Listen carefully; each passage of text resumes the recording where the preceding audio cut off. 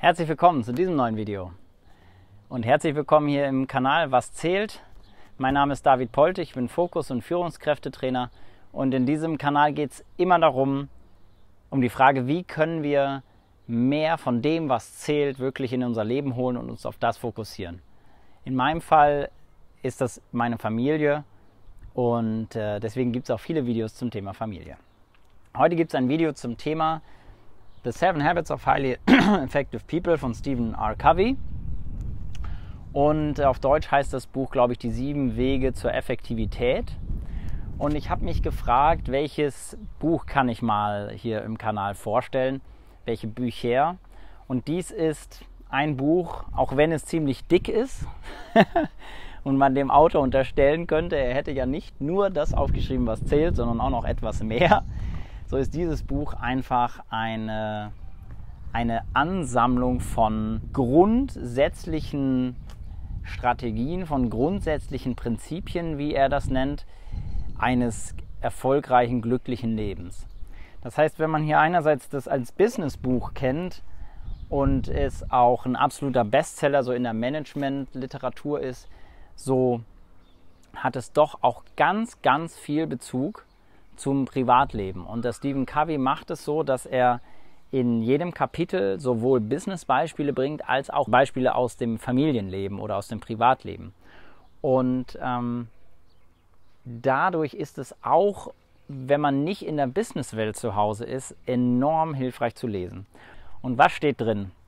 Ähm, nur ganz kurz möchte ich es zusammenfassen, weil an sich ist es ein Lebens- und Arbeitsbuch. Also ich habe es, glaube ich, das erste Mal aufgeschlagen 2014 hm, in der Väter GmbH und gefühlt sofort wieder zugemacht auf Deutsch. Und ähm, irgendwann habe ich es mal als Hörbuch gehört und habe schon gedacht, hui, das ist ein Programm. Und dann habe ich es jetzt nochmal gelesen und es ist einfach bahnbrechend, was da drin steht. Ähm, er baut es so auf, dass er sagt, es gibt innere, inner Victories, also innere Erfolge, innere Siege und Siege oder Erfolge in der Außenwelt und die in dem Innen drin sind sowas wie Selbstführung oder dass man das, was man will, also Ziele oder Zielzustände schon mal im Geiste erschafft und dass man eben die wichtigen Dinge zuerst macht. Und dann geht er nochmal ins Außen und da geht es dann um Sachen wie Zusammenarbeit, Zuhören, also interpersonelle, zwischenmenschliche Zusammenarbeit. Weil wie will man Großes in der Welt erreichen oder auch einfach ein glückliches Leben führen, wenn man nicht gut mit anderen Menschen zusammen sein kann? Und in diesen Themen führt ein, der Stephen. Covey ein Management-Denker, aber auch ein, ähm, einfach ein weiser Mensch ähm, durch diese Bereiche.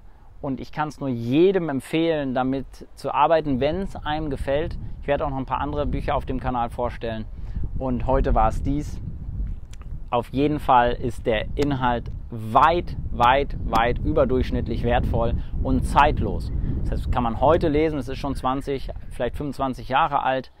Man liest es und man kann es verwenden und man wird es auch in 30 Jahren noch gleichermaßen verwenden kann. Das wird nicht veralten, weil es auch im alten Rom schon genauso war.